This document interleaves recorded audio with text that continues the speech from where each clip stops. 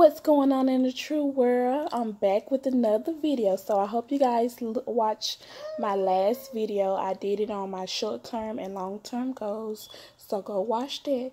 Don't forget to like my videos. Don't forget to subscribe. And don't forget to turn on that post notification bell okay? So that you can get updated whenever i post a video. As you guys know i po post videos monday through friday at 6 30 a.m so be looking out for my videos. I'm going to begin to say that in every video so that you can, you know, get the hang of knowing my schedule.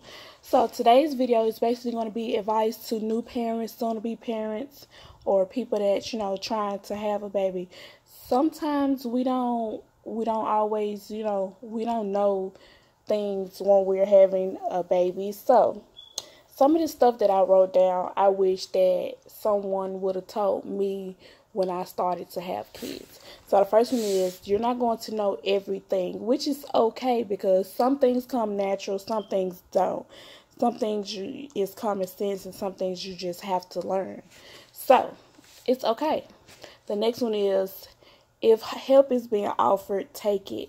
So I know sometimes we want to do things on our own, but when you don't have kids and you're freshly you're a new parent, then sometimes the help is needed because you get overwhelmed and everything and it's it's needed. Even when you're a you're an experienced parent the help is needed when having a new child.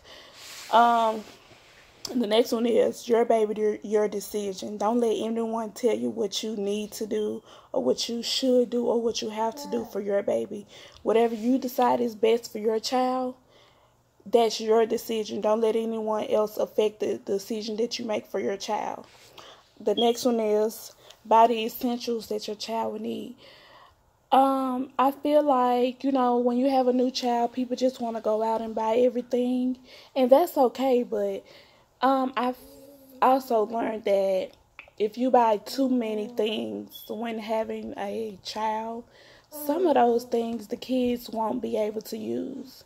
So you basically I mean you can give it away to someone that's that is in need of it or you know you can sell it and all of that but I feel like it's a waste of money when you buy too many things knowing that your child is not going to use some of it. Um, the next one is it's okay for you to constantly want to love on your child. So you know how when people say when you have a child don't hold the baby too much. You're going to spoil the baby. That's your decision. If you want to hold your baby all the time and give your baby your undivided love and attention, it's okay because it's your child. They those people don't have to take care of your child. You do. So that is your decision.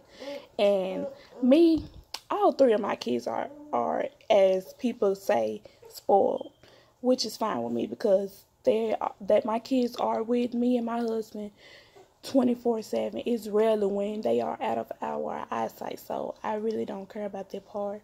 Um, don't let your emotions toward the other parent affect you not letting them see their child. So i know um, a lot of people have problems with their child's other parent.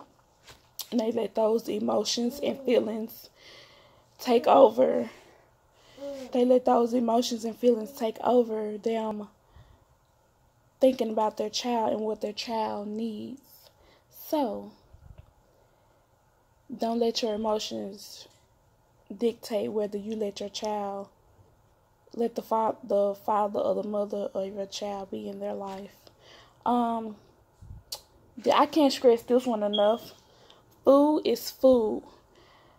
Now, I breastfed with all three of my kids, but I only exclusively breastfed with my last child, which is my daughter. But my two boys, I breastfed and formula fed. Food is food. Don't let anyone tell you that you have to breastfeed in order for the, your kids to be getting nutrients and being able to be fed. Long as your baby is fed, then that is fine. You're not a bad parent because you don't you haven't breastfed or you you you and the other parent is not choosing to is choosing not to breastfeed. Um now this one is really important. Get all the sleep you can before the child gets here.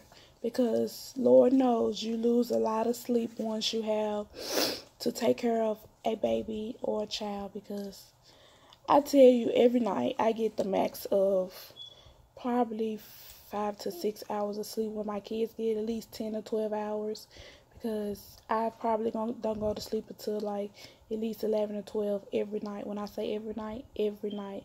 It's just, I got used to not getting sleep there. Now I'm not able to get sleep. Now that my daughter is about to be two and she sleeps all night, it's, I still don't get sleep. So cherish the sleeping time while before the baby gets here because you're going to need it and you're going to want it.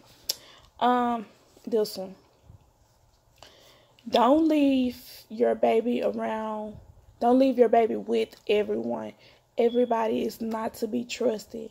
You have child molesters, you have abusers, you have all these type of people. Just because you know somebody for a long time doesn't necessarily mean that you know them. You don't know especially I say especially a child that's not able to talk or defend themselves. You know, they can't tell you what's going on when you leave them in the care of someone else. So like, don't just leave your kids around anybody. Like me, n- no one gets my kids. No one. Only person that gets my kids, baby, hush, hush. No one gets my kids at all. No one.